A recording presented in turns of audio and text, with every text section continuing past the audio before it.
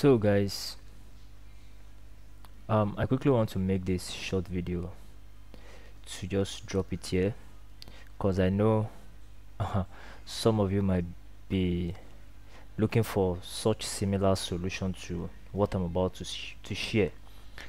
So um you might at a point on your facebook um app or on your facebook platform.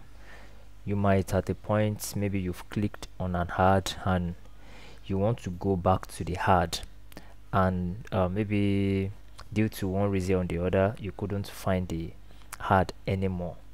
So there's actually a way you can locate that ad that particular ad that you've interacted with.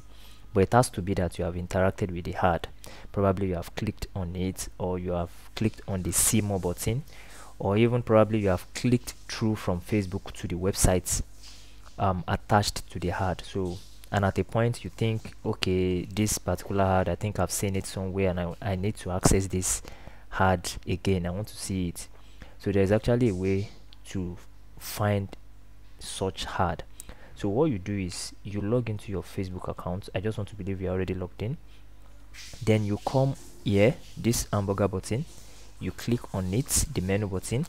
Then you scroll down to recent hard activities. This is it so you click on it. Let me click on it so you can see.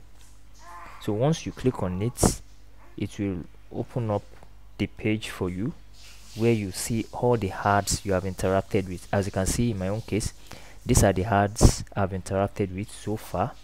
So you can easily find whichever ad you are looking for. Probably you once clicked on a product ad a product which you love and you want to see again the details. So this is a very simple way to um, find search and hard again. And if you are trying to access it from your phone there's actually a simple way to do that from phone as well. Either you are an android phone user or you are or you are um, an iphone user.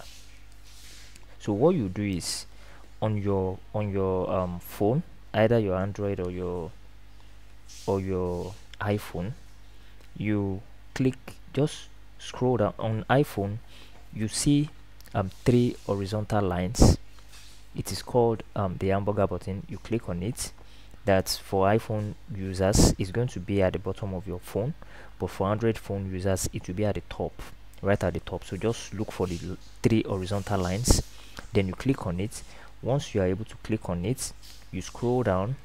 The button is horizontal. You scroll down. You should see icons like this as well.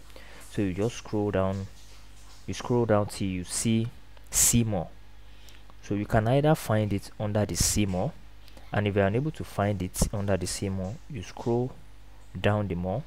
You click on you, you can first check on the um, community resources tab. You should see it. That's for phone users. You should see it. So if you can't find it there you click on help and support. If you can't find it there then you finally click on settings and privacy which i'm sure you should find. So once you click on it you can just scroll through the menus then you should find recent ad activity. You can then click on it from your phone and access all the ads you have interacted with no matter how long. That's just the history for all the ads you have interacted with so far. So that's just a simple way to go about it either from your laptop or from your phone so that's just the simple way to go about it. Either you're trying to access it from your phone or from your laptop. So guys i'll be signing out at this junction. I remain Olusola daniel. Do have a great time